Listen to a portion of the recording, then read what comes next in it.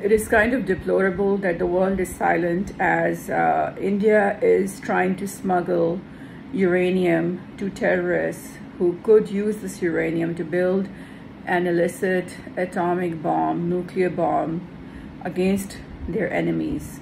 And who is the enemy that uh, India has been using all its arms and arsenal against?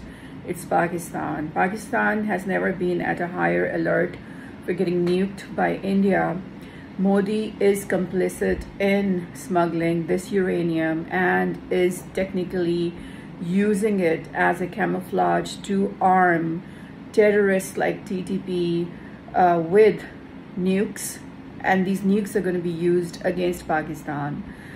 And it is also concerning that G7 decides to build the rest of the world that they so conveniently decimated over the last few decades.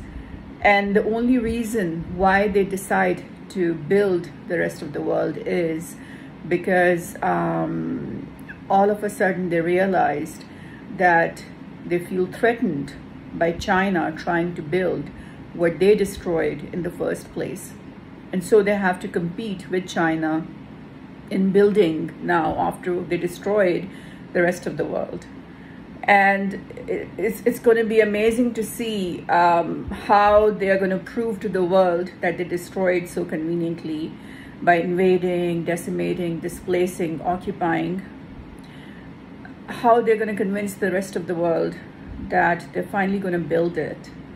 And what is really concerning right now and what is really deplorable right now is that they didn't make this decision to build the rest of the world out of the fact that they have regrets for destroying it. They're trying to rebuild it because they want to compete with China.